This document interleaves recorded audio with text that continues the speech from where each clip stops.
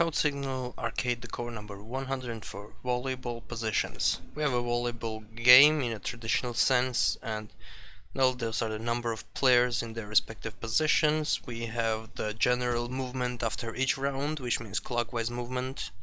In the given picture we see it much better, 3 moves to 2, and then 2 moves to 1, 1 moves to 6, and so on and so forth. This is how the board is represented and we need to kind of determine how was the positioning initially given that like k rounds have passed. So the like the most common way to do this would be just to simply simulate the process backwards and simply see where what was the position initially. And of course most importantly k 10 to the power of 9 we don't need to do 10 to, to the power of 9 times. We just need to do it uh, the reminder to the six times because every six times it gets to the same position so we basically need to like, only do it either from 0, 1, 2, 3 to 5 times. So for the simulating, well there are actually multiple ways to do this. We can actually keep a map which will actually tell us which position goes to which position and then use that to basically uh, simulate the whole process. So it will be a map of pairs to pairs. Let's call it an M. Okay, so there are going to be six of them. Let's uh, write the skeleton. Say uh, make pair equals to make pair something and copy this what the hell did I just press whatever six times. Okay, and now let's feel how the process would look like backwards. So let's start from the north and move clockwise. So 3 would actually, so since the 4 was to go to the position of the 3, so backwards it would be the position, we always go row first and then column. So 0, what the fuck, 0, 1 would go to the position 1, 0. Fair enough. So now the 2, the position 1, 2 would go to the position 0, 1. Okay, uh, now the 1. So the 1 which is on the position 3, 2 would go to the position, we're doing this backwards, uh, 0, 1, the previous one.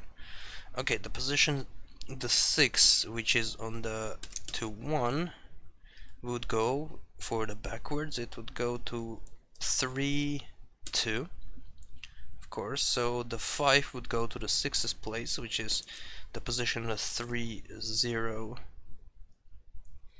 uh, would go to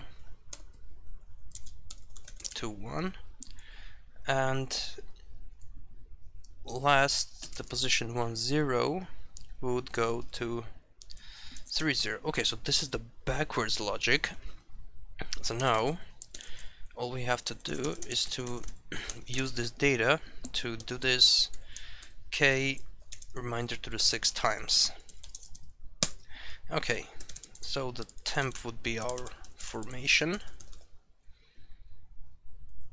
Formation yeah okay. So now what we want to do is to just go over all the elements of our map which would be element in M. Okay so element shows which goes where which basically means a temp M which goes where which means let's say um, let's call this a source and the destination would be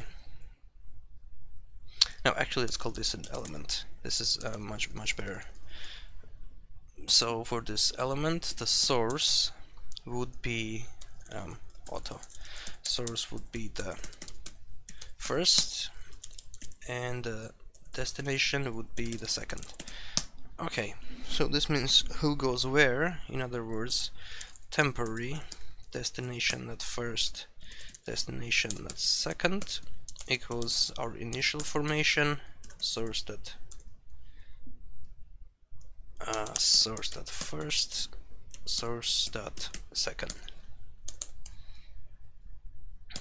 Okay, this seems fair enough. And then update the formation. Formation equals our temporary object. And return the formation. Okay. Let's check this on the samples.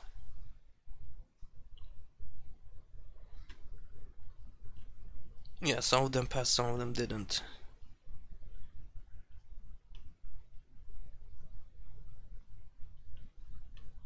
It's gonna be okay so the ones which passed are the divisors of 6 right? Uh, of course. Because we didn't perform any movement on them. Okay let's check it out. 0 1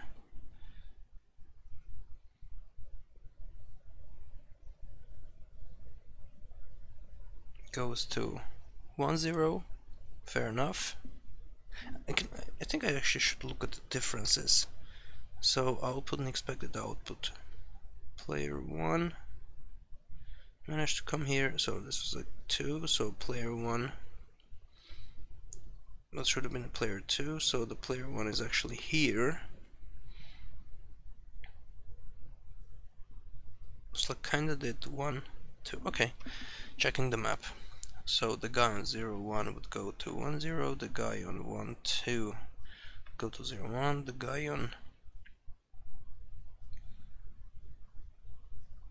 three two would go to yeah not the best ones, so the guy on three two would go to one two. Okay. I don't know whether everything else is correct or not let's see. Uh, fair enough. And and we are done. Thanks for watching